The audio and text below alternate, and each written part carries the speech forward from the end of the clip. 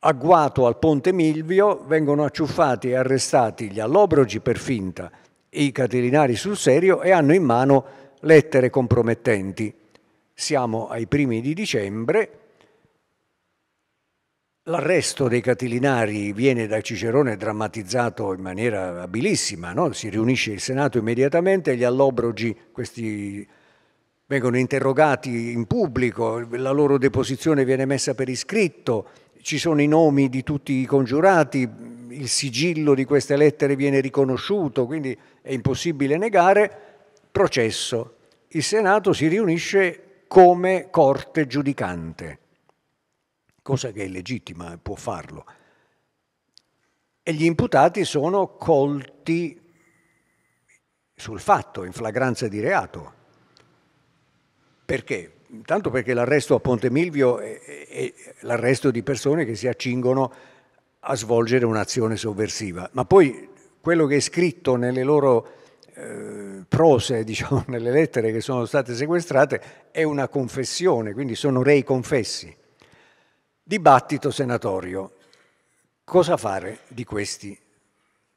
Nel frattempo Catilina viene informato di questa catastrofe e quindi tenta di fuggire dall'Italia, viene bloccato e morirà sul campo a gennaio in una battaglia persa in partenza, eroica quanto si voglia, ma persa in partenza.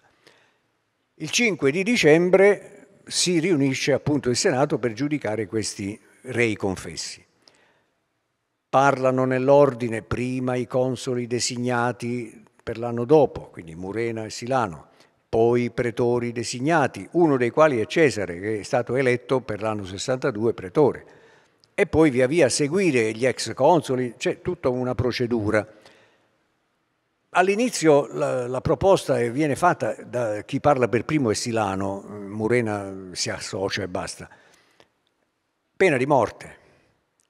Il reato è talmente grave, insurrezione contro la Repubblica, pena di morte. Parlano altri, parla Cesare che è un amico di Catilina, si è tirato indietro al momento giusto, anche perché probabilmente non condivideva il radicalismo della cancellazione tout court dei debiti, come si ricava anche dal commentario della guerra civile quando parla dei provvedimenti che ha preso lui in proposito. E Cesare fa un intervento abile, noi lo sappiamo abbastanza ravvicinatamente perché Sallustio addirittura lo costruisce, scrive dalla parola a Cesare come un po' nella storiografia antica, costruendo un discorso a partire dall'argomento, dalla sostanza nota di quel discorso, ma in una delle quattro catilinarie di Cicerone c'è una replica a Cesare che fa capire che ha detto effettivamente alcune delle cose che Sallustio gli fa dire. Il succo è da una parte grandi complimenti al console che ha salvato la Repubblica, grandi complimenti a Silano, eh, Vir Strenuus che ha proposto la pena di morte, però a ben pensarci, poiché l'anima è mortale, la pena di morte non è una vera e propria punizione, molto più grave la condanna all'ergastolo, a vita, e quindi propone di salvargli la vita in sostanza, questi qui, dicendogli piazziamo nei municipi sotto sorveglianza, confisca dei beni. Il Senato comincia a dargli ragione. Cioè, Silano stesso richiede la parola e dice ma in realtà io non sono stato capito, no? come molti politici fanno, non sono stato capito. Io ovviamente non volevo dire come si fa ad ammazzare un senatore romano, uno lentulo e addirittura pretore? Quindi insomma un po' grave. Si alza Catone, che è più giovane, Catone ha svariati anni di meno, è un coetaneo più o meno di Sallustio, no? degli anni 88-86, di quegli anni lì, ed è tribuno della plebe in quel momento, e fa un attacco a testa bassa contro Cesare, ruotante sul concetto se questo quest'uomo, se costui, Cesare, non ha paura di quelli, noi abbiamo paura di lui, perché è un complice. Il Senato ricambia posizione la guardia del corpo di Cicerone irrompe nel Senato e vorrebbe uccidere Cesare sul posto, Cicerone fa un segnale e salva la vita a Cesare, che viene accompagnato fuori del Senato perché rischia la vita, e la proposta di Catone viene approvata. La proposta dice, poiché questi cittadini scellerati sono insorti contro il potere dello Stato, sono stati rei confessi, il che equivale alla flagranza di reato, la pena è la morte, supplicium sumundum, arcaico latino. Però il problema qual è? Quando eseguire la sentenza? È qui il punto delicato sul quale chiudiamo questa nostra troppo lunga chiacchierata. Eh, Sallustio riferisce bene, con grande precisione, il finale del, dell'intervento di Catone che racchiude il testo del Senato Consulto che delibera per la pena di morte. Poi dice, fu una scelta del console di eseguire immediatamente la sentenza. E qui c'è un salto gravissimo. Se questi sono cives scelerati, sono cives, cioè sono cittadini. E in quanto cittadini romani, hanno il diritto di provocazio ad populum, quindi possono bloccare, poi magari andrà male, però hanno il diritto di invocare i tribuni e chiedere ai tribuni di sottoporre ai comizia plebis se procedere in questa esecuzione capitale o no. La lex Sempronia garantiva ad ogni cittadino romano il diritto alla provocazio ad populum. Quindi è stata violata una norma fondamentale, una conquista giuridica fondamentale. Cicerone prende per mano Lentulo e lo porta al carcere mamertino, la cui immagine forse era in questa slide, come viene chiamata, che avevamo sott'occhio, credo che sia visibile. Carcere Mamertino che è interrato, un luogo lugubre descritto da Sallustio con tocchi artistici molto efficaci, e assiste allo strangolamento. Il boia strangola Lentulo Sura sotto gli occhi di Cicerone, gli altri patiscono la stessa sorte, lui esce, è vicinissimo al, al Tempio della Concordia dove si era riunito il Senato e dice a gran voce ad una folla che si era riunita là fuori, Vixerunt, sono morti. Perché dice questo? Plutarco, al quale dobbiamo questo racconto e che usava i commentari di Cicerone sull'argomento, dice l'ha fatto perché era convinto che quella folla si preparasse a fare un atto di forza per salvare i detenuti. Quindi dire sono già morti, non c'è niente da fare, era la maniera per chiudere la partita. Cicerone ha raccontato tutto questo in opere che non abbiamo più, per fortuna il bravo Plutarco le ha lette, le ha riassunte e sono di un'estrema autolatria, autoesaltazione, falsificazione. Ma il seguito fu drammatico, il seguito fu che qualcuno cominciò a dire ma il verbale è stato falsato Evidentemente al posto della parola cives, cittadini, è stata messa la parola hostes, nemici. Perché? Fin- la finzione era che erano stati proclamati hostes pubblici e quindi avevano perso la cittadinanza e come tali potevano essere uccisi immediatamente. Su questo Cicerone ha avuto un inciampo gravissimo, è stato costretto all'autoesilio perché qualcheduno che lo detestava, il tribuno della plebe Clodio, è riuscito a dimostrare che quel verbale era stato falsificato.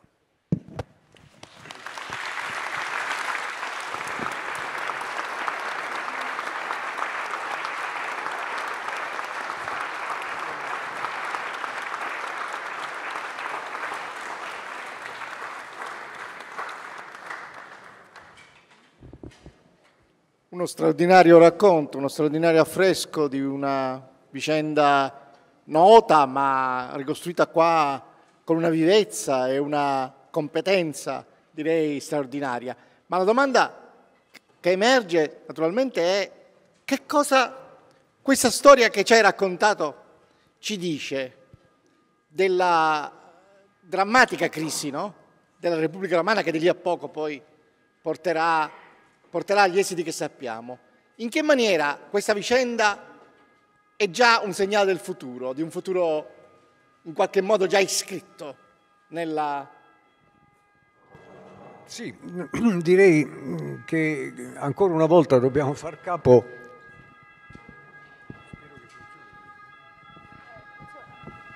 Sì, forse la voce vi giunge, sì. Bene. Dicevo, dobbiamo far capo ancora una volta a questo opuscolo eh, sallustiano del quale, come vedete, io faccio continua propaganda, eh, dando rilievo alla sua efficacia, alla ricchezza di informazioni. Perché dentro quel eh, piccolo libro c'è un capitolo, il capitolo 39, che è un po' un fuor d'opera, cioè è una sorta di digressione intenzionale d'autore naturalmente, in cui Sallusio fa una considerazione un po' singolare, uno Justeron Protero, insomma è un po' la cronologia stessa imbarazzante, cioè lui dice dopo che Pompeo è andato in Oriente, eh, l'oligarchia senatoria ha preso il sopravvento, però poi vennero fuori dei tribuni che la contrastavano. Catilina, e non si capisce il nesso fra questi tribuni e Catilina, Catilina avrebbe potuto anche vincere,